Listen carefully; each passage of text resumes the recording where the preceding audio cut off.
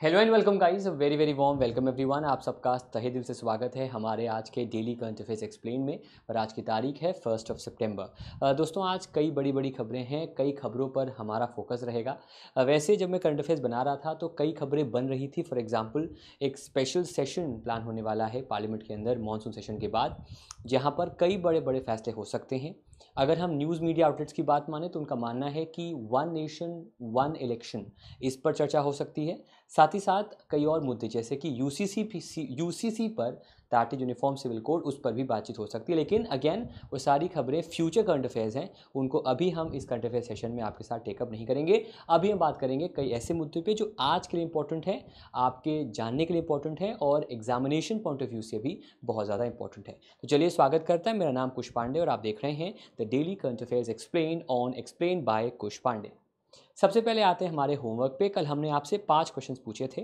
Question number one था कौन सा देश है जो होस्ट करेगा एशियन गेम्स तो उसका आंसर जो सबने दिया, वो सही आंसर दिया था and that is China second सवाल था कौन सा कंट्री है जो होस्ट करेगा सी कैट 2023 को? एक डिफरेंट एक्सरसाइज है, उसका आंसर सिंगापुर है। फोर्टीन अगस्त को ऑलरेडी एक्सरसाइज आपकी स्टार्ट हो चुकी है।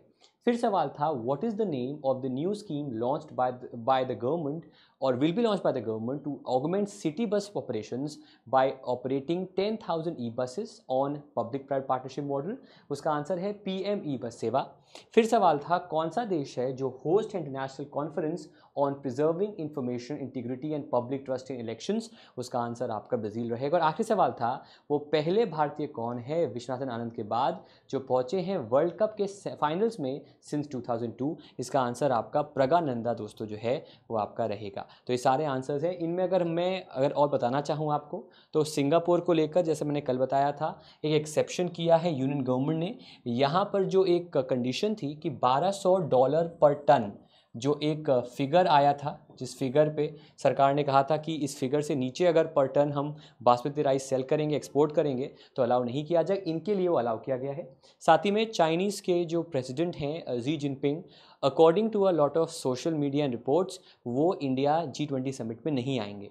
उसका रीज़न हो सकता है, ज़ाहिर सी बात है, चाइना ने एक मैप जारी किया था, जिसका ऑपोजिशन इंडिया के अलावा उन सारे देशों ने किया था, जो उस पर्टिकुलर मैप के अंदर जिनकी टेरिटरी को चाइना ने अपना माना था। फिर बात करें हम ब्राज़ील का तो जो अगला जी ट्वेंटी है, जो अगला बी ट्वेंटी है बिज़नेस ट्वेंटी समिट वो आपका ब्राज़ील में जी ट्वेंटी भी ब्राज़ील में होने वाला है, उस वजह से न्यूज़ में है। और प्रगानंदा न्यूज़ में इसलिए है बिकॉज़ दुनिया का पहला रैपिड चेस चैम्पियनशिप अभी हुआ है जर्मनी में डसलडॉफ में, जहाँ पर डब्ल्यू आर टीम ने जीता है। उस टीम के एक मेंबर हैं आपके प्रगानंदा, उस वजह से भी ये न्यूज़ में बने हुए हैं। अब आते हैं हमारे आज के क्वेश्चन पे। रिवीजन पे बेसिकली पहला क्वेश्चन आपके सामने है अ, कौन सा वो कंट्री है जो बना है दुनिया का पहला कंट्री जिसने एक seven minute cancer treatment jab launch किया है? तो उसका आंसर है option A that is England बाकी ऑप्शंस की बात करें तो अबाया ड्रेस जो है उसको कैंसिल किया उसको अलाउ नहीं करेगा आपका फ्रांस फ्रांस ने कहा है कि abaya dress state run schools में आपका अलाउ नहीं किया जाएगा। फिर अगर ग्रीस की बात करें तो इंडिया और जो ग्रीस हैं उनके स्ट्रेटिजिक रिश्ते आपके जो हैं वो अब बेहतर होंगे। और स्ट्रेटेजिक पार्टनर के तौर पर इंडिया और ग्रीस जो है वो आपका काम करेंगे। सिमिलरली जिम्बाब्वे में फिर से बने हैं। करंट प्रेसिडेंट वहाँ के अगेन राष्ट्रपति। लेकिन उसमें ट्विस्ट आया है कि वहाँ का जो अपोजिशन है, उसने इसके खिलाफ कहा है कि ये चुनाव गलत था और इस चुनाव के रिज़ल्ट को हम नहीं मानते हैं। बाकी ऑस्ट्रेलिया की बात करें तो जैसे मैंने आपको बताया था, कल अक्टूबर 14 डेट आपको पढ़नी पड़ेगी। बिकॉज़ ये वो डेट है जब ऑस्ट्रेलिया के अंदर रेफरेंडम होगा कि जो ओरिजिनल्स हैं, जो वहाँ के निवासी हैं नेटिव्स हैं क्या उनको अधिकार मिलेगा पॉलिसी में चेंज करने का एज पर द कॉन्स्टिट्यूशन उसकी खबर पे ऑस्ट्रेलिया न्यूज़ में है। फिर कौन सा देश है जो होस्ट करेगा पहला global India A I India summit उसका, कौन सा देश है जो इसको होस्ट करेगा? तो उसका आंसर आपका इंडिया रहेगा, ज़ाहिर सी बात है। बाकी ऑप्शन की बात करें तो तो ब्राज़ील की बात करेंगे बिकॉज़ ब्राज़ील को बी ट्वेंटी का तो अभी हैंडओवर किया है, आगे चलकर जी ट्वेंटी का हैंडओवर भी वो कर देगा। फिर अगर हम बात करें न्यूजीलैंड की तो मैंने पहले बताया, सिविल मोबिलिटी का या सिविल एविएशन का एक अग्रीमेंट इंडिया ने इनके साथ अभी हाल ही में दोस्तों जो है वो किया है। इस वजह से न्यूजीलैंड जो है वो फ़िलहाल आपका न्यूज़ में बना हुआ है। क्या नाम है उस final stealth frigate project 17 A ship का? उस फ्रिगेट का जिसको लॉन्च किया जाएगा आज के दिन फ़र्स्ट सितंबर को। On at the Mazagaon Docks, Shipyards Limited in Mumbai. Nilgiri Mahendragiri Vindhyagiri Himgiri या उदयगिरी आंसर है उसका, रहेगा महेंद्रगिरी ये सारे जो नाम है, वो सातों में से एक आते हैं, लेकिन जो लास्ट है आपका, वो महेंद्रगिरी है, जो कि एक माउंटेन पीक पे उड़ीसा के नाम पर ये बेस किया गया है Bhaderwah rajma has been given the G I tag for which of the following state उसका आंसर ऑप्शन ई रहेगा, जम्मू कश्मीर। आपको बताना है, और ये मैं होमवर्क मैंने दिया भी था आपको, बताना है कि कौन सा वो दूसरा आइटम है फ़ूड स्पेसिफिकली का, जिसको जम्मू कश्मीर के अंदर उसके भी जी आई टैग आपका दिया गया है। बाकी ऑप्शंस की बात करें तो दोस्तों, तमिलनाडु की बात करेंगे तो तमिलनाडु में तिरुनेल वैली वहाँ की एक जगह है। पार्डन माय प्रोनाउंसिएशन वहाँ पर एक रिन्यूएबल एनर्जी प्लांट जो है, उसे बनाया जाएगा। और इसके लिए एडीबी उसे जो है वो आपका सपोर्ट करेगा। उस वजह से तमिलनाडु जो है, फ़िलहाल आपका न्यूज़ में बना हुआ है। इसके अलावा दोस्तों नेशनल न्यूट्रिशन वीक आपका शुरू होने वाला है। इनफैक्ट आज से लेकर सेवेंथ सेप्टेम्बर सेवेंथ ये डेट थी जो आपकी वहाँ तक ही आपका चलेगा। अगर हम बात करें न्यूट्रिशन की तो जो न्यूट्रिशन मिशन था, जो सबसे पहले, वो आपका झुंझुनू राजस्थान में ही शुरू हुआ था। इस वजह से राजस्थान भी फ़िलहाल आपका न्यूज़ में है। बाकी अगर हम बात करें माइनर माइनर इरिगेशन स्कीम्स का तो अभी हाल ही में उसका छठा सेंसस आया था और उस पर्टिकुलर सेंसस में Uttar Pradesh number one rank पे आया था in terms of the maximum minor irrigation schemes in a state उसमें यूपी नंबर वन पे था। गोवा शिपयार्ड लिमिटेड ने हाल ही में किस देश के शिपयार्ड के साथ एक कोलैबोरेशन किया है टाइप किया है for capacity building and construction of ships उसका आंसर रहेगा option C that is Kenya Kenya के साथ ही कोलैबोरेशन जो है, उसको किया गया है। अब आते हैं आज की बड़ी खबरों पर। सबसे बड़ी खबर ऑफिशियल बड़ी खबर जो एग्जामिनेशन ओरिएंटेड है एग्जामिनेशन फोकस करती है, वो ये है कि according to the National Statistical Office जो कि काम करता है under the Ministry of Statistics Programming and Implementation उस मिनिस्ट्री को ज़िम्मा मिलता है इन नंबर्स को क्वार्टरली बेसिस पर हाफ़ ईयरली या एनुअल बेसिस पर रिलीज़ करना। So according to the N S O Indian economy जो ये इस साल का, इस फाइनेंशियल ईयर का पहला क्वार्टर है, उसमें ग्रो करेगी at 7.8 percent which is as per the standard ये अपडेट जीडीपी को लेकर एनएसओ जो ऑफ़िस है एनएसओ जो है ऑर्गेनाइजेशन उसने पेश किया है. ऑफिशियली इंडिया इसको मानता है अपना ऑफिशियल जीडीपी नंबर तो पहले क्वार्टर में जो नंबर है, वो 7.8 परसेंट पर दोस्तों आ रखा है. ठीक है? इसको अगर हम कंपेयर करें तो 6.1 परसेंट था जनवरी टू मार्च 2023 में, जो इससे पहले का क्वार्टर था। और अगर हम कंपेयर करें पहले क्वार्टर 2022-23 के तो उस समय वो था आपका 13.1 परसेंट का। ठीक है? तो उसके कंपैरिजन में चेंज है, लेकिन ऑब्वियसली बात है, हमें कंपेयर करना नहीं चाहिए बिकॉज़ उस समय हम ग्रो कर रहे थे at a rapid pace in fact जो उससे जो जो पॉइंट ऑफ़ रेफरेंस था, वो आपका डिफरेंट था और यहाँ पर हम 7.8 परसेंट के हेल्दी रेट पर दोस्तों जो है वो पहले क्वार्टर में ग्रो कर रहे हैं which is a good enough number फिर सेकेंड खबर है भारत के उपराष्ट्रपति जगदीप धानकर उन्होंने मुलाकात की है विदेश मंत्री नॉर्थ मैसेडोनिया के, जिनका नाम है बुयर ओस्मान, न्यू दिल्ली मुलाकात हुई है। वैसे बहुत बड़ी खबर नहीं है, लेकिन क्योंकि हम यहाँ पर कंट्रीज़ की बात करते हैं और आपको मैंने कमिट किया है मैप स्टडी बताने का। तो ये मैप स्टडी आइए देख लेते हैं। तो सबसे ऊपर सबसे बीच में आपका जो है, वो नॉर्थ मैसेडोनिया है। मैंने कल भी आपको बताया था, एक देश जो कि एक लैंड लॉक कंट्री है, वैसे ही मैसेडोनिया जो है, वो भी आपका एक लैंड लॉक कंट्री है, जिसका कैपिटल जो है, वो वो है आपका स्कॉपिए और करेंसी यहाँ की आपकी दिनार है। सिमिलरली अल्बानिया की बात करें कैपिटल तिराना है करेंसी आपकी लेक है। ग्रीस की बात करें, जिसके साथ इंडिया के स्ट्रेटेजिक रिश्ते हो चुके हैं। एथेंस कैपिटल है यूरो करेंसी है और बुल्गारिया का सोफिया कैपिटल है लेव करेंसी है, जबकि सर्बिया जहाँ के मशहूर खिलाड़ी हैं नोवाक जोकोविक जो इस बार का यूएस ओपन फिर से जीत सकते हैं। अगर कार्लोस अल्कारेज उनको हराना दें तो वहाँ बेलग्रेड कैपिटल है दिनार करेंसी है। फिर कोसोवो है, छोटा सा देश है आपका। कोसोवा का कैपिटल आपका प्रिस्तीना है और करेंसी आपकी यूरो और फिर आपका मोटेनिग्रो है कैपिटल आपका पोर्टगोरिका है और करेंसी आपकी दोस्तों यहाँ पर यूरो है। तो जो नॉर्थ नॉर्थ दुनिया के जो फॉरेन मिनिस्टर हैं, उनके साथ मुलाकात की है भारतीय उपराष्ट्रपति ने। तीसरी खबर पे आते हैं। तीसरी खबर में कई सारे कीवर्ड्स हैं। पहले खबर जान लेते हैं। खबर ये है कि भारत के केंद्रीय मंत्री भूपेंद्र यादव साहब, उन्होंने स्टार्ट किए हैं chemotherapy services in thirty E S I C hospitals अब सबसे पहले कीमोथेरेपी किस लिए होती है? कीमोथेरेपी आपकी कैंसर को लेकर होती है।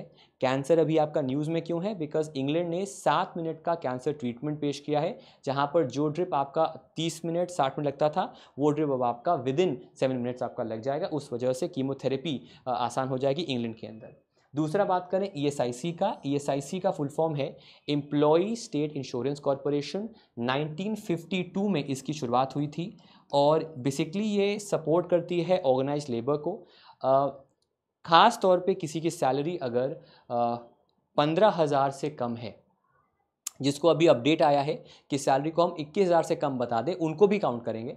तो अगर उस उस अमाउंट से सैलरी आपकी कम है तो ई e कार्ड आप जारी करवा सकते हैं और जो ई e के रजिस्टर्ड हॉस्पिटल्स हैं, क्लिनिक्स हैं, वहाँ पर जाके आपका इलाज हो सकता है। वहाँ पर इसका इंश्योरेंस जो है, वो आपका प्रोवाइड कर सकता है। तो कीमोथेरेपी सर्विसेज़ के लिए thirty additional E C hospitals को जो मिनिस्टर हैं भूपेंद्र यादव, उन्होंने अभी हाल ही में लॉन्च किया है। ख़ास तौर पे ये उनके लिए है जो जो लोग इंश्योरेंस अवेल नहीं कर सकते और एक ऑर्गेनाइज सेक्टर में आपका काम करते हैं। फिर ये बड़ी खबर है, पिछले दो तीन दिनों से चल रही है। इस खबर को लेकर एक बयान में दिखाऊँगा आपको और वो बयान जो है वो दिया है जयराम रमेश ने। उन्होंने कहा कि the Modi government, specially in the case of MNREGA और एम जी नरेगा, जो कि एक हंड्रेड डेज़ के वर्क देने वाली स्कीम है and soon with pension and other social welfare benefits, has use its weapon as a weapon to exclude citizen from their guaranteed right जो उनका मौलिक अधिकार है, जो उनके गारंटी राइट्स हैं, उनसे उनको रिमूव किया है और एक्सपेरिमेंट्स विद टेक्नोलॉजी के उनके उनके एक उनके एक एक्शन की वजह से मतलब उनका मानना है कि जो सरकार हमारी है, जो अभी करंट सरकार है, वो कई तरह डिजिटल बैंकिंग एक्सपेरिमेंट्स करी डिजिटल ट्रांजैक्शन एक्सपेरिमेंट्स कर रही है उनकी वजह से ऐसे लोग जो वलनरेबल हैं, जो पुअर हैं, उन तक पहुँचा पैसा या इनकम जो उनका अधिकार है, वो आपका नहीं पहुँचता है। देखिए हम यहाँ पर दो बड़ी चीज़ें हैं। पहला एम जी नरेगा के अंदर जो भी लेबर काम करते हैं, उनके काम का पैसा उन्हें मिलता है। जनरली पैसा उन्हें मिलता है या तो कैश के माध्यम से या कई और तरीक़ों से। एक तरीका और है, जो तरीका प्रिफर किया गया है और पिछले कुछ सालों में उसी तरीके से पैसे ट्रांसफ़र किए जा रहे हैं, वो तरीका है through the A P B S देखिए नाम दिया हुआ है यहाँ पर through the A P B S ठीक है? ए पी बी एस का मतलब होता है आधार पेमेंट बेस सिस्टम। उस आधार पर देने की बात यहाँ पर दोस्तों की गई है। तो A P B S system या A B P S system जो है that is Aadhaar based payment system उस आधार पर पैसे देने की बात की गई है। प्रॉब्लम यहाँ पर दोस्तों ये आती है एंड बड़ी प्रॉब्लम दोस्तों ये आती है कि ए बी पी एस अभी तक फुली कवर नहीं हुआ है। सबसे पहले आओ जानो ये ए बी पी एस होता क्या है? ए बी पी एस एक ऐसा सिस्टम होता है जिसमें आधार कार्ड आपका लिंक करा के आपके अकाउंट से डायरेक्टली आपके अकाउंट में वो बेनिफिट को हम ट्रांसफ़र करते हैं। सरकार को अगर सब्सिडी ट्रांसफ़र करनी है या इस केस में सरकार को वेजेस को लेबर वेज को ट्रांसफ़र करना है तो उससे डायरेक्टली उसके अकाउंट में ऐसे ट्रांसफ़र कर सकते हैं। लेकिन अगर आपका आधार कार्ड अकाउंट से लिंक नहीं हुआ है तो ये सिस्टम वहाँ वर्क नहीं करता है। इसी वजह से आप नंबर देख लीजिए यहाँ पर, ये पाँचवीं बार है जब इस एक्सपेंशन को, इस एक्सटेंशन को दिया गया है और इस साल के एंड तक ये एक्सटेंशन आपका रहेगा। अभी तक बात करें तो थर्टीन करोड़ ऐसे लेबरर्स हैं एक्टिव लेबरर्स हैं आउट ऑफ़ फोर्टीन करोड़ जिन्होंने रजिस्ट्रेशन करा लिया है, जो आधार को लिंक कर चुके हैं बैंक अकाउंट से और जो A P B A B P S enabled हैं। अब यहाँ पर वर्ड समझिएगा ध्यान से एक्टिव वर्कर्स एक्टिव वर्कर्स वो वर्कर्स सोचे हैं जिन्होंने पिछले तीन साल में मनरेगा के अंदर वर्क किया है। तो उनमें से सिर्फ़ 18.11 परसेंट लोग हैं जो उस नेट से बाहर हैं, जिनको अभी रजिस्ट्रेशन और अपने अपने अपने आधार कार्ड को लिंक कराना है विद द अकाउंट इसका मतलब ये है कि 81.89 percent of the active worker जो हैं वो अब उनके पास एबीपीएस का सिस्टम है डायरेक्टली अकाउंट पैसा जाता है। लेकिन लेकिन इंडिया में जो एलिजिबल वर्कर्स है मनरेगा में, वो करीब 26 करोड़ है बिकॉज़ 26 करोड़ मनरेगा कार्ड्स को जारी किया गया है और उनमें से 41.1 परसेंट ऐसे लोग अभी भी हैं जो एलिजिबल नहीं है फॉर दिस पर्टिकुलर मूड तो दो यहाँ पर कहानियाँ, एक एक्टिव वर्कर जहाँ पर काफ़ी अच्छी ग्रोथ है। सिर्फ़ 18.1 परसेंट लोग के पास A B P S enabled accounts नहीं है। और दूसरे आपके 41.1 परसेंट वर्कर्स हैं, जो एक्टिव भी हैं इनएक्टिव भी टोटल वर्कर्स हैं, जिनके पास अभी A B P S enability या एलिजिबिलिटी उनके पास नहीं है। बिकॉज़ उन्होंने आधार को अपने अकाउंट से लिंक नहीं कराया या फिर वो ए एनेबल उनका नहीं हुआ है। तो इसको लेकर भी काफ़ी ज़्यादा बात चल रही है। एग्जामिनेशन एग्जामिनेशन की बात करें तो ऑब्वियस सी बात है, चाहे आप यू पी एस सी दे रहे हो पीएससी दे रहे हों बैंक एसएससी दे रहे हों, ये फुल फॉर्म पे सवाल बनेगा। इसका फुल फॉर्म है आधार बेस्ड पेमेंट सिस्टम एक ऐसा सिस्टम जो अलाउ करता है एनेबल करता है direct transfer into the account by linking the Aadhaar card which is a twelve digit number to your bank to your bank account उससे आसानी से पैसे आपके अकाउंट में आ सकते हैं। अब आते हैं अंतर्राष्ट्रीय खबरों पे। दोस्तों, एक एक बड़ी खबर है, जैसे मैंने आपको बताया था स्टार्टिंग में, व्लादिमीर पुतिन जी ट्वेंटी में नहीं आ रहे हैं। इनफैक्ट यूक्रेन के भी जो जो प्रेसिडेंट है, वो भी नहीं आ रहे हैं। इंटरेस्टिंग बात दोस्तों ये है कि अब जी जिनपिंग वो भी अब इंडिया में जी ट्वेंटी समिट में नहीं आ रहे हैं। उसका रीज़न वैसा तो कोई बहुत ऑब्वियस नहीं है, लेकिन ऐसा कहा गया है कि जो दुनिया भर से बैकलैश मिला है चाइना को regarding its recent standard map जिसने जारी किया था, वो एक रीज़न हो सकता है इस पर्टिकुलर चीज़ की वजह से। Number one number two BRICS summit के दौरान भी इंटरेक्शन हुआ था मोदी जी का with with with Xi Jinping वहाँ पर भी बातें नहीं बनी थी। इनफैक्ट बहुत ही ज़्यादा वो सुपरफिशियल एक एक वार्ता थी। तो वो भी एक रीज़न हो सकता है कि वो इंडिया मिस करें। इनफैक्ट उनके जो डेप्यूटी हैं, जो वहाँ के प्रीमियर हैं ली किकियांग वो आपके जो हैं, वो आपके आ सकते हैं इंडिया और वो रिप्रेजेंट कर सकते हैं चाइना को। और साथ ही साथ अगर पुतिन की बात करें तो जो उनके भी विदेश मंत्री हैं सरगे लेवरव वो इंडिया आएँगे, ना कि व्लादिमीर पुतिन अब इससे जी ट्वेंटी के यूनि के यूनियन पर कितना असर पड़ेगा? G twenty as a bloc कितना असर पड़ेगा? वो तो समिट के दौरान समिट के बाद ही हम बता पाएँगे। फिर ब्रिटेन की क्वीन कैमिला पाकर उन्होंने अनवेल किया है पोर्ट्रेट एक British Indian spy Noor Inayat Khan का लंदन में। वहाँ पर एक गैलरी है of the Royal Air Force उस गैलरी में उन्होंने इन मादम का, इन मैडम जो हैं, इन फ्रीडम, जो फ्रीडम फाइटर हैं और जिन्होंने वर्ल्ड वॉर पार्टिसिपेट किया था सेकेंड वर्ल्ड वॉर में, उनकी जो एक फ़ोटो गैलरी में उनकी जो एक पोर्ट्रेट है उसको अनवेल किया है। इसकी बात करेंगे। फिर यूके के अंदर एक और खबर आ रही है वहाँ के डिफेंस सचिव ने रिज़ाइन किया था due to differences with the politics of Rishi Sunak. उनकी जगह अब ग्रैंड शैप्स जो हैं, उन्हें यूके का नया डिफेंस सचिव, डिफेंस मिनिस्टर कह सकते हैं, वो उनको बनाया गया है। आइए बात करते हैं पहले नूर इनायत खान जी की। नूर इनायत खान मेंबर थी of the Royal Air Force women auxiliary Air Force की, जब उन्हें रिक्रूट किया गया था as a special operations executive in 42 और उसके बाद वो उन दो मेंबर्स में से एक हैं, जो कि, जो वुमेन ऑक्सिलरी एयरफोर्स से बिलोंग करती हैं, जिन्हें जॉर्ज क्रॉस का सम्मान दिया गया था और ये दिया जाता है फॉर ग्रेटेस्ट हीरोइज़म और ये सबसे अधिक करेज वालों को एक्सट्रीम डेंजर में जिन्होंने करेज दिखाया हो, उनको दिया जाता है। ऐसा कहा जाता है कि ये जब जब इनको गिरफ़्तार किया गया था और इनको एक कंसनट्रेशन कैंप में रखा गया था तो महीनों तक तो कई हफ्तों तक इन पर अत्याचार हुआ, कई हफ्तों तक इनको टॉर्चर किया गया, लेकिन इन्होंने एक वर्ड भी एक वर्ड भी नहीं निकाला अगेंस्ट जो भी उनके पास इंफॉर्मेशन थी। इनफैक्ट इनके इनके लिप्स पर लिबर्टी जो वर्ड था, वो था एंड में और इनको फिर शूट कर दी शूट कर दिया गया। और इसी ब्रेवरी की वजह से इनको जॉर्ज क्रॉस मिला था और अब इनका एक पोर्ट्रेट जो है, उसे लगाया गया है इन द गैलरी अगर इनकी बात करें तो she was born as Noor un Nisa Inayat Khan Moscow में 1914 में फिर ये इनके पेरेंट्स पहुँच गए आपके इंग्लैंड रिक्रूटमेंट हुआ इनका स्पेशल ऑपरेशंस एग्जीक्यूटिव के तौर पे 42 में और इनकी डेथ हुआ उसके दो साल बाद 44 में और इनका कोड नेम था आपका मैदलिन जिसे आप जिसे आप एक लिटिल रिच रिच केक कहते हैं, उसको मैडलिन का नाम दिया जाता है। इनके बारे में इंटरेस्टिंग बात अगर हम इंडियन पर्सपेक्टिव से करें तो टीपू सुल्तान, जो मैसूर के राजा थे उनकी डायरेक्ट डिसेंडेंट के तौर पर ये थी। इनफैक्ट अपने फादर के साइड से she was a direct descendant of Tipu Sultan और इनकी फैमिली लंडन मूव करी थी और फिर then to in nineteen twenty तो उस उस रिलेशन की वजह से भी इंडियन पर्सपेक्टिव में ये इंपॉर्टेंट आपका हो जाता है। फिर ग्रैंड शाप्स जो हैं वो बने हैं नए डिफेंस सचिव। और बुधवार को मतलब कल के दिन ये घोषणा आपकी की गई और वो रिप्लेस करेंगे लॉन्ग सर्विंग बेन वॉलिस की, जिन्होंने रिज़ाइन किया था due differences due to political differences with Rishi Sunak Shapps famous हैं और वो प्रख्यात हैं यूक्रेन को सपोर्ट करने में अगेंस्ट रशियाज इन्वेजन और वो भी एक फैक्टर प्ले किया है इनकी नियुक्ति में। दोस्तों ऋषि सुनाक के ऊपर एक और उनके ऊपर एक्विजेशन लगा है कि उनकी जो वाइफ के इन्फोसिस में शेयर्स हैं उसको लेकर भी वहाँ की पार्लियामेंट में कई सवाल उठाए जा रहे हैं। इनफैक्ट, जो भारत और यूके का जो एक ट्रीटी है ट्रेड का, उसमें भी ये सवाल उठाया गया कैसे उनकी वाइफ के शेयर्स होने की वजह से, जो कि एक एक ठीक ठाक शेयर होल्डर है इन्फोसिस में, क्या उसका असर पड़ सकता है? तो उसको लेकर ऋषि सुनाक जो है, अभी आपका न्यूज़ में बने हुए हैं। अब आते हैं साइंस एंड टेक्नोलॉजी पे। दोस्तों, चंद्रयान थ्री जैसे मैंने पहले कहा, खबरें आती रहेंगी, हम बताते रहेंगे।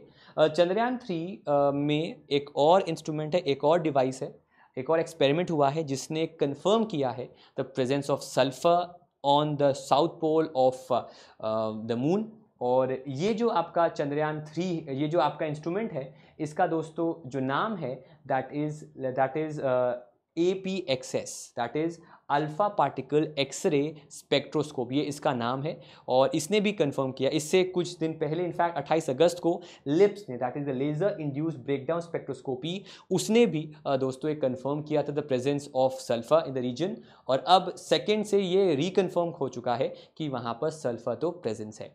अगर आप तैयारी कर रहे हो, या आप एक आम आदमी की तरह आप जानना चाहते हो कि, सर, कितने एक्सपेरिमेंट्स हो रहे हैं? तो मैंने एक लिस्ट बनाई है आपके लिए। पर उससे पहले ज़रा मैं आपको ये वीडियो दिखा दूँ। ताकि ये वीडियो आप देख सकें। अगर ये अगर ये वीडियो यहाँ पर है बेसिकली इस वीडियो का मेन मकसद हमारा ये है आपको दिखाने का कि ए पी एक्सेस ने कैसे वर्क किया है। तो अगर हम बात करें तो A P X S one second हाँ। अगर हम बात करें तो लेट सपोज़ ये आपका एक होराइजन है, जो कि आपका उस लैंडर का है। और ए पी एक्सेस ने कुछ यहाँ पर दोस्तों जो है वो ट्रैक किया है सल्फ़र का एग्जिस्टेंस उसी वजह से ये एक ग्राफिक ये इमेज जो है, वो आपके लिए इम्पोर्टेंट दोस्तों जो है, वो हो जाती है।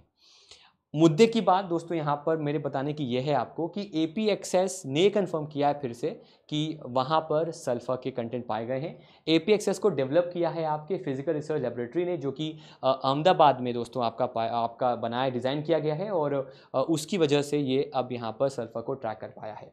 जैसे मैंने आपको पहले बताया था कि ये जाना ज़रूरी है। In fact it is very imperative for every to know कि कौन कौन से एक्सपेरिमेंट्स हो रहे हैं कौन कौन से वहाँ पर डिवाइस गए हैं। तो ये डिवाइस गए हैं। मैंने एक आपको एक इमेज बताई थी। उस इमेज में चीज़ें बताई थी, लेकिन अब मैंने उसके लिए टेबल तैयार किया है। पहला है आपका ILSA instrument for lunar seismic activity seismometer है, जो कि वहाँ का जो वाइब्रेशन है उस सर्फेस के, उसको टेस्ट करेगा। और इसको बनाया है लियोस ने laboratory for electro optic systems फिर रंभा एल है रडा फॉर मून बाउंड एक्सपेरिमेंट्स ये एक लैंगम्यूर प्रोब है, जो कि बनाया है स्पेस फिजिक्स लेबोरेटरी ने। फिर चेस से सबसे पहले इसका ही आपका न्यूज़ आया था। Chandrayaan three surface thermophysical experiment जिसने टेम्परेचर चेक किया सर्फेस का, ये थर्मल प्रोब है, इसको बनाया है आपके विक्रम साराभाई स्पेस सेंटर में, वहाँ पर इसको बनाया गया है। फिर एलआरए है लेज़र लेज़र रेट्रोफ्लेक्टर एरे जो कि एक रेट्रोफ्लेक्टर है नासा ने इसे बनाया है। फिर ए पी से आज की बात करें, ये एक्सेस स्पेक्ट्रोमीटर है, इसे पी आर एल ने बनाया है। फिर लिप्स है, इसकी बात हमने आज ही की है, ये एक लेज़र बेस्ड स्पेक्ट्रोमीटर है लियोस ने इसको बनाया है, और फिर है आपका शेप जो कि अगर कंपेयर करें चंद्रयान थ्री चंद्रयान टू को तो शेप एक्सपेरिमेंट या शेप जो डिवाइस है, ये चंद्रयान थ्री में तो है, लेकिन टू में नहीं है। इसका फुल फॉर्म है spectropolarimetry of habitable planet Earth ये एक स्पेक्ट्रो पोलारीमीटर है, जो कि U R Rao satellite centre ने आपका बनाया है। तो ये एक बार आप देख सकते हैं। अगर आपको इसका पीडीएफ चाहिए इमेज चाहिए तो मैं आपको एंड बता दूँगा। हमारे व्हाट्सएप ग्रुप पे जुड़ सकते हैं या टेलीग्राम ग्रुप पे जुड़कर इस पर्टिकुलर इमेज को वहाँ से डाउनलोड कर सकते हैं। फिर आते हैं डिफेंस पे। दोस्तों, एक हमारे इंडियन नेवी की एक मुहिम है, जिसका नाम है सागर परिक्रमा फोर। वो अब आपका कमेंस होना कमेंस होने वाला है ऑफ़ दी गोवा कोस्ट वहाँ पर वो आपका दोस्तों कमेंस होगा। बेसिकली uh, अगर हम सागर परिक्रमा की बात करें परिक्रमा को इंग्लिश में कहते हैं नेविगेशन तो एक नेविगेशन जर्नी है जो कि कोस्टल स्टेट्स में खास तौर पे कोस्टल यूटीज़ में खास तौर पे आपकी होती है. और इसका एक रूट होता है पहले डिसाइडेड जिस रूट पर ये फिशर फोक फ़िश फार्मर्स और जो कंसर्न स्टेक होल्डर्स हैं उनके साथ कदम से कदम मिलाकर उनको सॉलिडारिटी प्रोवाइड करती है. इसका मेन फोकस होता है एक बैलेंस क्रिएट करना between utilization of marine fisheries resources for food security of the nation and livelihood of coastal fisher communities and protection of the marine ecosystem. Basically, ये एक initiative है इंडियन नेवी का ताकि जो फिशर समुदाय है जो फिशर कम्युनिटी है जो मछुआरे हैं उनके साथ उनको सहयोग करना मरीन इकोसिस्टम को को सपोर्ट करना और जो लाइवलीहुड्स हैं, उस एरिया के लोगों की, उनको भी सपोर्ट करना। उसको लेकर ये एक मुहिम आपकी चलती रहती है। इस बार ये मुहिम आपकी गोवा के कोस्ट पर शुरू होने वाली है। ठीक है? हाँ तो वो परिक्रमा आपका बहुत जल्द स्टार्ट होने वाला है। अब आते हैं बैंकिंग फाइनेंस पे। भारत का जो फ़िज़िकल डेफिसिट अब तक है that is six point zero six trillion rupees जो कि अप्रैल जुलाई अप्रैल जुलाई के समय देखा गया है। अब सवाल बनता है, सर, ये फ़िज़िकल डेफिसिट होता क्या है? मान लेते हैं, ये भारत है, ठीक है? और भारत के पास इनकम कम है और खर्चे जो हैं, वो आपके ज़्यादा हैं। यहाँ लिखा हुआ है स्पेंड यहाँ लिखा हुआ है इनकम इसका मतलब है कि वो अपने देश के अंदर इंफ्रास्ट्रक्चर पर खर्चे कम कर पाएगा। और अगर हम इंडिया की बात करें तो इंडिया को इंफ्रास्ट्रक्चर बेटर करना है बिकॉज़ इंडिया का एक टारगेट है कि इंडिया को 2025 में बनना है एक फाइव ट्रिलियन डॉलर इकोनॉमी जो कि हम बन सकते हैं। तो ज़ाहिर सी बात है इंडिया को पैसे फिर या तो बोरो करने पड़ेंगे या बाहर से इन्वेस्ट कराने पड़ेंगे। तो लेट सपोज़ दूसरे देश ने, या दूसरे एक ओवरसीज ऑर्गेनाइजेशन ने पैसे लेंड किए गवर्नमेंट को और इस वजह से जो टोटल एक डिफरेंस आता है including the borrowings including the non capital borrowings जो कि आपका किसी स्कीम के अंदर की जाती हैं या फिर किसी आ, किसी रिपेमेंट को रिपे करने की जाती हैं या फिर किसी और काम में की जाती हैं। तो जो एक वो डिफरेंस है of the total expenditure which is greater than the income including the the borrowings excluding the non capital receipts उसे हम फ़िज़िकल डेफिसिट कहते हैं। आसान भाषा में कहूँ तो एक देश के पास एक वित्तीय वर्ष में या एक समय में कितना वित्तीय बोझ है? कितना ऐसा पैसा है जो उसे रीपे करना है? या वो ओवर ड्यू है फॉर रीपेमेंट उस टोटल पैसे को, उस डिफरेंस को between the excessive expenditure and the deficit income उस डिफरेंस को हम कहते हैं फ़िज़िकल डेफिसिट यहाँ पर दोस्तों याद रखिएगा फ़िज़िकल वर्ड हमेशा आप इस्तेमाल करोगे with the government with the government जब हम गवर्नमेंट रेवेन्यू की बात करेंगे तो हम फ़िज़िकल की बात करेंगे. तो जब सरकार का रेवेन्यू जब सरकार की कमाई कम होती है with the with the expenditure और एक्सपेंडिचर के लिए जब हम पैसे बोरो करते हैं, पैसे बाहर से मंगाते हैं, पैसे बाहर से ट्रांसफ़र होते हैं, जिसे हमें रीपे करना होता है तो जो टोटल फाइनेंशियल बर्डन है किसी देश का, उसे कहा जाता है फ़िज़िकल डेफिसिट कई देश और ख़ासतौर पर इंडिया भी कई बार जानबूझकर इसको मेंटेन करते हैं, ताकि उन्हें सस्ते दरों पर या ज़ीरो परसेंट इंटरेस्ट रेट्स पर लोन मिल सके from World Bank from IMF ताकि उस पैसे का इस्तेमाल वो कर सके, ना कि अपने पैसे का. हालाँकि पैंडमिक के दौरान ये डेफिसिट काफ़ी बढ़ चुका था नाइन परसेंट को क्रॉस कर दिया था और अब हमें इसको ले दे के four point five percent of the total GDP के आसपास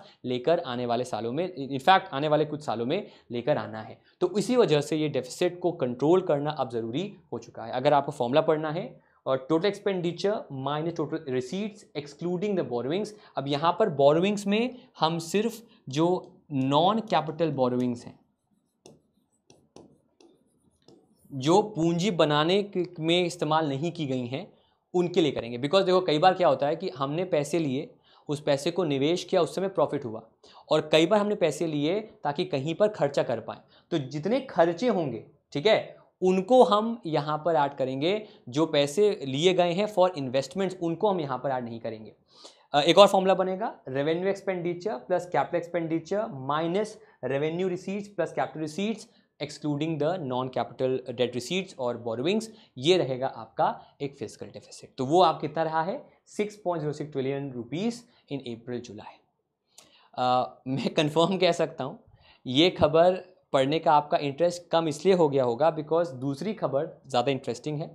हालाँकि इस खबर के एग्जामिनेशन में आने के चांसेस कम हैं, लेकिन जब आप अपने आंसर्स को लिखोगे अगर मैं बात करूँ मेंस में स्पेसिफिकली जो ब्रिटेन पेपर होता है एसबीआई में, या फिर अगर हम यूपीएससी की बात करें, किसी एग्ज़ाम की है जहाँ पर आपको सब्जेक्ट लिखना होता है तो इसका एक इन्फ्लुएंस वहाँ पर हो सकता है। तो एक संगठन है इन्वेस्टिगेटिव जर्नलिस्ट का, जिसका नाम है O double C R P उसने ये आरोप लगाया है, उसने अलेज किया है कि एक, कि मॉरिशियस बेस्ड ओपेक फंड्स जो हैं उन्होंने अडानी स्टॉक पैसा लगाया है और ये जो ओपेक मतलब ये ऐसे फंड्स हैं जो इसी अडानी फैमिली या अडानी एसोसिएट्स के फंड्स हैं, उन्हीं फंड्स को वापस अडानी में लगाया गया है मिलियंस ऑफ़ डॉलर्स फंड्स जिससे कि जो एक एक मार्केट वैल्यू है, जो मार्केट कैपिटल है अडानी स्टॉक्स का, वो ज़्यादा हो चुका है। तो वो आरोप उन्होंने लगाया कि वो फंड्स इनफैक्ट किसी आम शेयर होल्डर के नहीं है, बल्कि वो अडानी फैमिली से या अडानी एसोसिएट से ही उनका दोस्तों संबंध है। इसकी बात यहाँ पर सबसे पहले हम आपके सामने करेंगे। तो स्क्रीन पे दोस्तों आप देख सकते हैं ओसीसीआरपी ने आरोप लगाया है। अब ओसीसीआरपी बेसिकली है क्या? देखिए, इसका फुल फॉर्म है। Organise crime and corruption reporting project, और OCCRP अगर हम इसकी बात करें तो रिपोर्ट में अलर्ज किया गया है कि Gautam Adani family of investing millions of dollars in its own company खुद ही के पैसे खुद ही कंपनी में आपके उन्होंने लगाए जिसका मतलब ओपेक होता है। वो पैसे मार्केट के नहीं है, बल्कि उनके खुद के हैं। इनमें दो एसोसिएट्स के नाम आए हैं, जिन्होंने मिलियंस ऑफ़ डॉलर्स पैसे लगाए हैं। पहले हैं चांग चुंग लिंग और दूसरे नासिर अली शबान आली। इनके नाम यहाँ पर आए हैं। अब सवाल बनता है ओ होता क्या है? ओसीआरपी एक ऑर्गेनाइजेशन है, जिसे फॉर्म किया गया था with 24 non profit investigative centres ने 2006 में से फाउंड किया था जर्नलिस्ट ड्रू सलीवन और पॉल राडू ने। और अभी इसके जो करंट हेड हैं, उनका नाम आपका पॉल राडू बताया जाता है। अब अगर हम बात करें ओसीसीपी की तो इनका मिशन है एक विश्व तौर पे नेटवर्क बनाना, जो कि इन्वेस्टिगेटिव जर्नलिस्ट का होगा, जो कि अपनी स्टोरीज को निर्भीक तरीके से विदाउट एनी फियर वो उसे पब्लिश कर पाएँगे। और ख़ास तौर पे इसकी पकड़ रहेगी ऑर्गेनाइज क्राइम पे और करप्शन पर। ऐसा नहीं है कि पहली बार अडानी स्टॉक के साथ ऐसा हुआ है, अडानी एंटरप्राइज ऐसा आरोप लगे। इससे पहले हिंडनबर्ग संस्था ने भी आरोप लगाए थे, लेकिन अगर हम ओसीसीपी की बात करें तो ओसीसी आरपी जो है इससे पहले ऑलरेडी पनामा पेपर्स जो रिलीज़ हुए थे उनको उन, उनकी जो इन्वेस्टिगेशन थी उनका जो एक भांडाफोड़ हुआ था उसको करने में इसका भी बहुत बड़ा रोल था। इनफैक्ट इसे नोबेल प्राइज़ के लिए नॉमिनेट किया गया है और साथ ही साथ इसे दो का पनामा पेपर्स के लिए इसे ट्वेंटी का पुलिस प्राइज़ भी फॉर द जर्नलिज्म इसको दिया गया था। एक और यहाँ पर ट्विस्ट है, एक और यहाँ पर एक एंगल है, वो एंगल है जॉर्ज सोरोस का, जो कि एक बिलनियर हैं यूएस के। और इनका कीन इंटरेस्ट है इस पूरे मामले में बिकॉज़ इन्होंने कुछ महीनों पहले, एक करीब साल पहले, इन्होंने अडानी स्टॉक्स को लेकर भी टिप्पणी की थी कि वो एक पूरा शैम है और उसी, उनकी ही कंपनी जो है ओपन सोसाइटी फाउंडेशन वो कंपनी इस पर्टिकुलर एजेंसी को, इस ऑर्गेनाइजेशन को सपोर्ट भी करती है। वो इसके डोनर्स में से आपका एक है। तो अभी आपके ऊपर है, आप इसका पर्सपेक्टिव क्या निकालें, सही, गलत? लेकिन खबर आपके सामने मैंने पेश कर दी है। तो ओसीसीआरपी जो है, उसने ये काम यहाँ पर दोस्तों किया है। तमिलनाडु की बात करें तो उसने दोस्तों एक पैनल बनाया है जो कि अच्छा एक खबर यहाँ पर और मिस हो गई हाँ एक खबर और दोस्तों यहाँ पर है कि जो कंबाइंड इंडेक्स है एट कोर इंडस्ट्रीज़ का, भारत के अंदर आठ कोर सेक्टर्स आते हैं। कोर क्या होते हैं? जो किसी देश के लिए इंपॉर्टेंट होते हैं, किसी देश की इकोनॉमी को ग्रो करने में उनका रोल होता है और अगर वहाँ पर प्राइजेस आपकी वॉलेटाइल हैं चेंज हो रही हैं तो उसका असर इंडिया की इंडस्ट्रीज़ पे इंडिया की इकोनॉमी पर पड़ता है। इंडिया में ऐसे आठ सेक्टर्स हैं petroleum refinery production electricity steel production coal crude oil natural gas production cement और फर्टिलाइज़र प्रोडक्शन इन आठ सेक्टर्स का हम क्वार्टरली बेसिस पर मंथली बेसिस पर रिव्यू करते हैं और अभी नंबर्स आपके आए हैं। तो जो कम्बाइंड इंडेक्स है ऑफ़ को इंडस्ट एट को इंडस्ट्रीज़ का वो इंक्रीज़ किया है by eight percent in July 2023 अगर हम कंपेयर करें इनके ग्रोथ को विद जुलाई ऑफ़ 2022 तो वहाँ पर हमने एक 8 परसेंट का ग्रोथ जो कि गुड ग्रोथ है, वो हमने इन को एट को सेक्टर्स में आपका देखा है, जिसका मतलब है कि इंडियन इंडस्ट्रीज़ के लिए अच्छी खबर है और इन वाइटल सेक्टर्स में हम फ़िलहाल overall on an average grow कर रहे हैं। आते हैं फिर नेक्स्ट खबर पर दोस्तों, अब बात करते हैं स्टेट की। स्टेट में हमारे पास तीन खबरें हैं। पहली खबर है तमिलनाडु से। भारत के पूर्व चीफ इकोनॉमिक एडवाइज़र, जो कि इकोनॉमिक सर्वे को ड्राफ्ट करने में जिनका रोल सबसे अधिक रहता है, जिनके ही ऑफ़िस से वो ड्राफ्ट होता है, जिसको पेश करते हैं करती हैं फिनेंस मिनिस्टर तो former chief economic adviser Arvind Subramanian, मनियन जो है वो अब आईजीएसटी को स्टडी करने की जो एक पैनल बना है, जो एक कमेटी बनी है उसको उसमें मेंबर हैं, उसको लीड करेंगे तमिलनाडु में।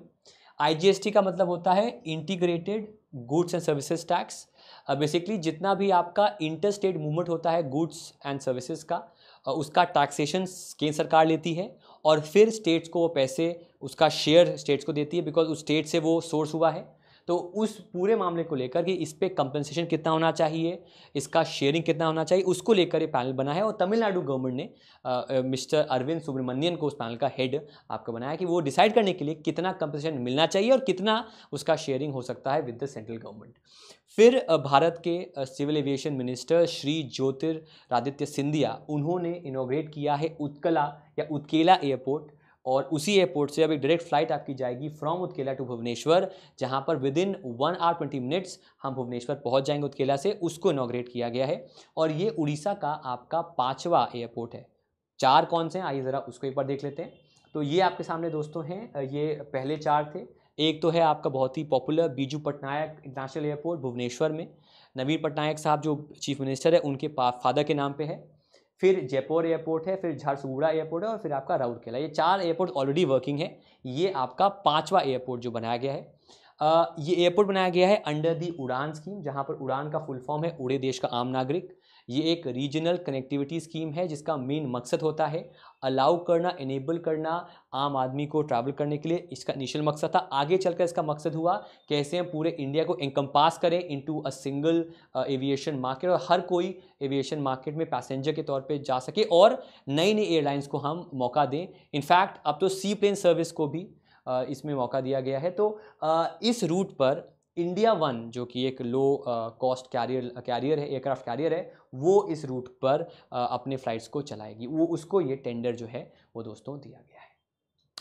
फिर असम का एक राइस है जिसका नाम है चोकुआ राइस, उसे जोग्राफिकल इंडिकेशन टैग दिया गया है। चोकुआ राइस को असम के अंदर मैजिक राइस भी कहा जाता है और उसको अभी हाल ही में जीआई टैग दिया गया। मैंने आपको कल बताया था जम्मू कश्मीर के दो फ़ूड आइटम्स हैं और अब असम का भी जो मैजिक राइस है, इसको भी जीआई टैग दिया गया है। कल एक सवाल आया था, सर जीआई टैग होता क्या है? चाहे कोई आइटम हो, कोई प्रोडक्ट हो it could be handicraft it could be an art item it could be a food item it could be a cultural item अगर उस एरिया के वो पॉपुलर है, उसका वहाँ सिग्निफिकेंस है तो उस वो एरिया या वो सिटी या वो लोकेशन उस पर्टिकुलर आइटम को सिक्योर कर सकता है। सिक्योर का मतलब उस पर्टिकुलर आइटम की मार्केटिंग करना, उस पर्टिकुलर आइटम आइटम पर अपना अधिकार जताना, वो वो कर सकता है। इम्पोर्टेंट इसलिए है बिकॉज़ अगर हम डोमेस्टिकली बात करें तो रसोगुल्ला को लेकर इशू रहते हैं, जैसे कि आपका वेस्ट बंगाल उड़ीसा में रहता है। वैसे ही राइस को लेकर भी रहता है दुनिया भर में इंडिया की बात करें या पाकिस्तान की बात करें तो उसका जीआई टैंक मिलना ज़रूरी हो जाता है। है ना? अभी कुछ महीने पहले कांगड़ा चाय को यूरोपियन कमीशन ने, यूरोपियन यूरोप ने दिया था जीआई टैग वहाँ के लिए। तो वो एक बड़ी प्रतिष्ठा की बात थी कि यूरोप में जो उसकी सेलिंग होगी, उस उस खास कांगड़ा चाय की, उसे वो हिमाचल प्रदेश के जो कांगड़ा कॉरपोरेशन है वही करेगा, उसकी मार्केटिंग। तो इसलिए ये जी आई टैग इम्पोर्ट हो जाता है। दस साल तक ये टैग रहता है और फिर आपको उस टैग को फिर से अप्लाई आपको करना होता है। अगर हम असम की बात करें तो ये आपके नौ आइटम्स हैं जिनके ऑलरेडी जी, जो जिनको जी आई टैग असम में मिल चुका है। असम लोगो मुगा सिल्क, असम करबी, आंगलोंग जिंजर, तेजपुर लीची, जोहा राइस, बोका चाउल बोका चाउल काजी नेमू, चोकुआ राइस और गमोसा। ये नाम यहाँ पर दोस्तों ऑलरेडी हमने दे दिए हैं। सिमिलरली कल हमने बताया था आपको ये और इस साल हुए हैं, ये डिस्कस हम कर चुके हैं, जिसमें मैक्सिमम तमिलनाडु 58 एट जी टैक्स है सेकेंड नंबर पे आपका उत्तर प्रदेश आता है। अब बात करते हैं अग्रीमेंट्स की एमओयूज की, जिन्हें हम कहते हैं memorandum of undertaking department of ex serviceman ऐसे लोग जो सर्विस में थे सर्विसेज़ में थे, जो रिटायर हो चुके हैं, जिन्हें हम वेटरन्स कहते हैं तो उनको एम्प्लॉयमेंट प्रोवाइड करने के लिए इस डिपार्टमेंट ने प्राइवेट सेक्टर के साथ टाइप किया है ताकि उन वेटरन्स को एम्प्लॉयमेंट मिल सके। उस लिए ये एमओयू आपका साइन यहाँ पर किया गया है। इम्पोर्ट डेज़ की बात करें तो वर्ल्ड संस्कृत डे आपका इकतीस अगस्त को मनाया गया है। और इस दिन, इसके बारे में इसके और इस दिन इनफैक्ट मोदी जी ने ट्विटर पे भी लिखा कि आप लोग एक सेंटेंस लिखिए संस्कृत में। सिमिलरली सितंबर एक से लेकर सितंबर सात तक आपका राष्ट्रीय न्यूट्रिशन वीक चलाया जाएगा, ताकि खास तौर पे बच्चों, महिलाओं में और बच्चों में खास तौर पे जो मल न्यूट्रिशन है, जो स्टंटिंग है, जो लैक ऑफ़ ग्रोथ है, उसको उसको फोकस करते हुए कैसे उसको हम इम्प्रूव कर सकते हैं ग्रोथ बेटर कर सकते हैं न्यूट्रिशन बेटर कर सकते हैं, उसके लिए ये हफ़्ता जो है आपका मनाया जा रहा है। तो जो जो इसमें खबरें आती रहेंगी, हम आपके साथ डिस्कस करते रहेंगे। बाकी ये मैंने कल बताया था आपको पिछले कुछ दिनों के इंपॉर्टेंट डेज़ है, जिसमें मलेशिया डे को मैं डिस्कस किया था, ये आपका था। 57 1957 में मलेशिया आज़ाद हुआ था और तब से लेकर ये डे आपका जो है वो मनाया जाता है। गवर्नमेंट स्कीम्स की बात करें तो गवर्नमेंट सितंबर महीने में एक ऐसी इंटरेस्ट सबवेंशन स्कीम लाने वाला है अर्बन पुअर के लिए अर्बन क्लास के लिए स्पेसिफिकली अर्बन पुअर क्लास के लिए ताकि उन्हें जो भी वो लोन लेते हैं अपने घर बनाने के लिए, उस पर उन्हें इंटरेस्ट में छूट मिले। यहाँ पर जो वर्ड है आपका दैट इज़ सबवेंशन सबवेंशन का मतलब होता है कितना छूट हम कर सकते हैं. फॉर एग्ज़ाम्पल पूरा वर्ड का मतलब होता है कि अगर सेवन परसेंट इंटरेस्ट रेट है तो सरकार लेट सपोज़ दो परसेंट खुद पे करेगी और पाँच परसेंट आपको पे करना होगा. तो कितना गवर्नमेंट सपोर्ट करता है इंटरेस्ट पर, उससे हम इंटरेस्ट सबवेंशन यहाँ पर कह सकते हैं. तो एक इंटरेस्ट सबवेंशन स्कीम लॉन्च करेगी जिसमें सरकार बताए कितना इंटरेस्ट रेट सरकार बियर करेगी फॉर द हाउसिंग लोन ये जानकारी दी है भारत के housing urban affairs minister Hardeep Singh Puri ने। उन्होंने कहा है कि we are flashing out the details of the scheme और फिर पब्लिक करेंगे और ये रेडी हो चुकी है और इसे हमने अनाउंस सितंबर में करना है। अब आपका एक सवाल आएगा कि सर ऑलरेडी एक स्कीम है जिसका नाम है प्रधानमंत्री आवास योजना अर्बन जब ऑलरेडी वो है तो इसको हम लॉन्च क्यों करें? इसलिए लॉन्च कर रहे हैं बेटा बिकॉज़ वो स्कीम को 2022 में ख़त्म होना था। ठीक है? स्पेसिफिकली दो चीज़ों को। एक तो C L S S credit link subsidy scheme ठीक है? जो आपकी ख़त्म हो चुकी है। दूसरी स्कीम है आपकी प्रधानमंत्री आवास योजना अर्बन, जो भी आपकी दिसंबर दो में ख़त्म हो जाएगी, जिसे एक्सटेंशन दिया गया था, ठीक है? और इसके अंदर जो हाउसेस थे, उन्हें इस साल मार्च इकतीस तक खत्म करने की प्लानिंग भी थी, ले, पिछले साल। लेकिन अब उसको चौबीस से एक्सटेंड किया गया है।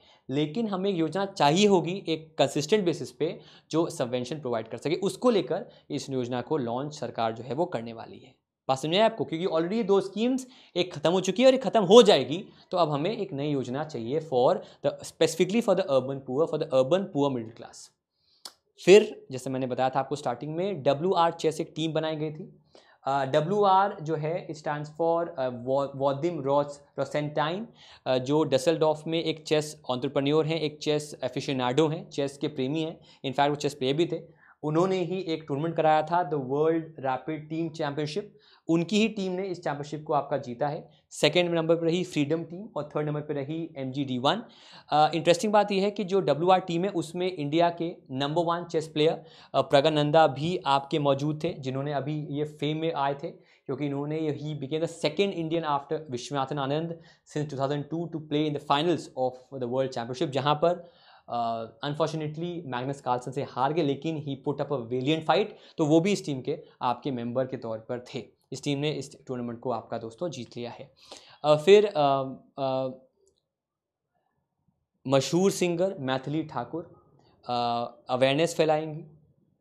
देश भर में for climate change through her songs इसके लिए इन्हें इन्हें इनके साथ इनको बनाया है अपना एम्बेसडर अपने early warning for all campaign का national institute of disaster management में। और उन्होंने कहा है कि ये देश के अलग अलग पार्ट्स में जाकर क्लाइमेट चेंज को लेकर जो है वो अवेयरनेस फैलाएँगी।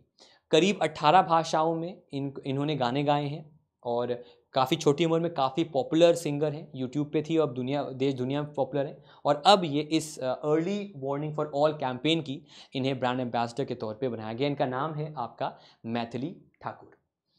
फिर आते हैं अपॉइंटमेंट पे। भारत के former chief justice of India N V Ramana साहब इन्हें अपॉइंट किया गया है as a member of the international mediation panel of the Singapore mediation centre Singapore में मीडिएशन सेंटर है, जो कि ऑफकोर्स सिंगापुर में वहाँ पर दी मेंबर्स बनाया गया है इनको। यहाँ पर इंपॉर्टेंट वर्ड है आपका मीडिएशन मीडिएशन क्या होता है? मध्यस्थता। किसी मसले को, किसी अगर कुछ कुछ ऐसा कांड हुआ है, कुछ ऐसा इशू हुआ है, उसको रिजॉल्व करना। तो उसके लिए, उस सेंटर सिंगापुर सेंटर के लिए इन्हें बनाया गया उसका मेंबर इसका पर्पस है मीडिएशन करना। इंटरनेशनल कमर्शियल डिस्प्यूट्स रिजॉल्व करना। ये उन्हें बनाया गया during the Singapore convention week जो कि एनुअल कन्वेंशन है, जिसे ऑर्गेनाइज किया सिंगापुर मिनिस्ट्री ऑफ़ लॉ ने और United Nations commission on national trade law U N C I T R L ने, उन्होंने मिलकर ये कन्वेंशन किया था, जहाँ पर इनकी नियुक्ति जो है वो दोस्तों आपकी की गई है। ये भारत के भूत, भारत के फॉर्मर सी जी आई हैं, भारत के फॉर्मर मुख्य न्यायाधीश सुप्रीम कोर्ट के रह चुके हैं।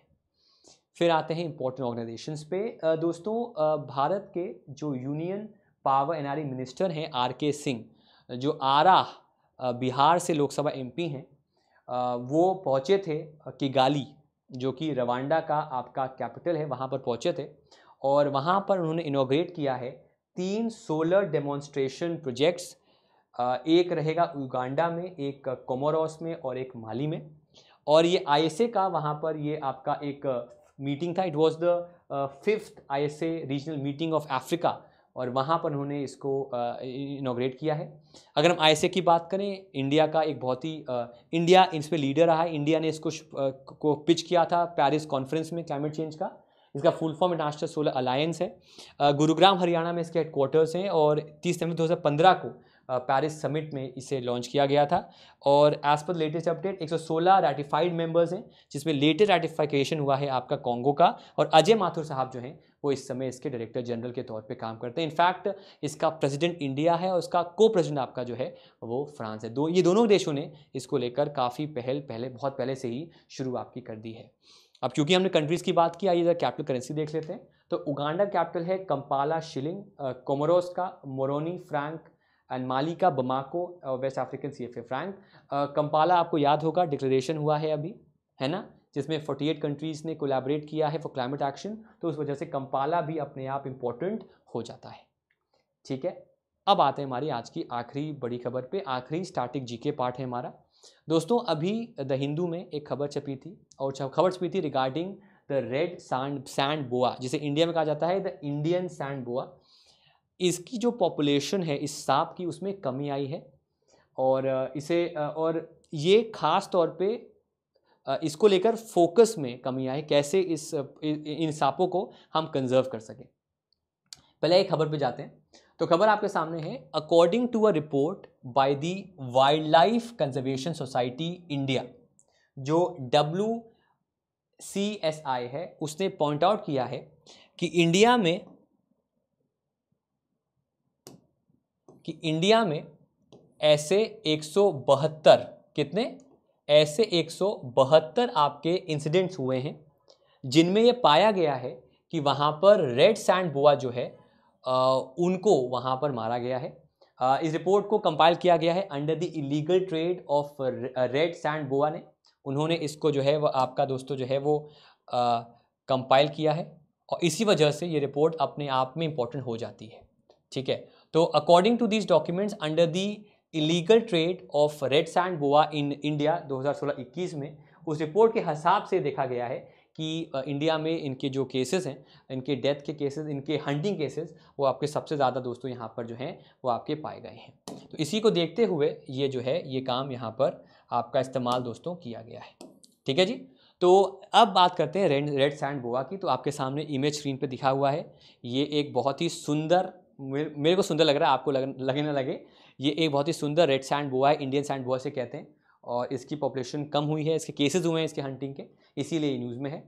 आ, इसके फीचर बात करें तो रेडिश ब्राउन कलर है इसका एक थिक सेट है स्नेक का। इसका total average length seventy five centimetres का होता है। और it is the largest of the sand boa snakes ये जहरीला नहीं होता है ठीक है? अगर आपको ये डसेगा तो आपको विश आपकी बॉडी में नहीं जाएगा। ठीक है? फिर ओवो, फिर ओवोवी पैरस है मतलब इसके बॉडी में अंडा, अंडे से पैदा होते हैं स्नेक लेकिन वो जो अंडा होता है एग होता है, वो बॉडी के अंदर ही फट जाता है, वहीं से वो स्नेक निकलता है। बात समझ रहे हैं? तो ये एग्स बाहर नहीं आते एग्स अंदर ही बनते हैं और एग्स अंदर ही फट कर फिर वहाँ से जो बेबी स्नेक है, वो निकलता है। और नॉक्टर्नल है, रात के प्राणी हैं और अंडरग्राउंड जनरली आपके रहते हैं। Under the wildlife protection act seventy two schedule four इनको प्रोटेक्ट किया गया और इनका करंट जो स्टेटस है इनके एक्सटिंक्शन का दैट इज़ नियर थ्रेटेंड अभी थ्रेटेंड नहीं है, लेकिन ये आगे चलकर थ्रेटेंड हो सकते हैं। तो इसलिए ये आपका न्यूज़ में है। अब आते हैं हमारे होमवर्क पे। क्वेश्चन नंबर वन पे दोस्तों यहाँ पर आते हैं। Which country has passed a bill which criminalises the citizen travelling broad to pursue surrogacy arrangements India India has signed M O U with which company mutual cooperation in the realm of artificial intelligence. Which country conducted the Han Kuang military exercise? India ने हाल ही में MOU sign किया, कौन से देश के साथ to collaborate on the sharing of India stack और अफ्रीका रशिया अफ्रीका समिट अभी हाल ही में कहाँ पर हुआ था? इसके आंसर दीजिए हमें कमेंट सेक्शन में। बाकी इसका पीडीएफ और लेटेस्ट अपडेट्स अगर आप मेरे व्हाट्सएप ग्रुप पे आएँगे तो आपको मालूम चलेगा वहाँ पर हम कितना डिस्कशन करते हैं और कितने ज़्यादा अपडेट्स आपको रेगुलर बेसिस पे मिलती हैं बर्निंग इशूज़ के। वो यहाँ मिल जाएगा। साथ ही साथ करंट अफेयर्स के अलग अलग क्विज यहाँ मिलेंगे। बाकी टेलीग्राम पे एक ग्रुप हमारा है और ये हमारा इंस्टाग्राम पे मेरा सोशल मीडिया प्रोफ़ाइल वहाँ पर जाके हमें ज्वाइन कर सकते हैं। Thank you so much everyone for coming do not forget to like the video do not forget to share the video do not forget to subscribe the channel and do not forget to join at least this group और this one ताकि वहाँ पर मैं आपके साथ PDF share कर सकूँ और अलग अलग क्विजेस को भी वहाँ पर हम आपके साथ कर सकें। Thank you so much everyone and bye and thank you so much bye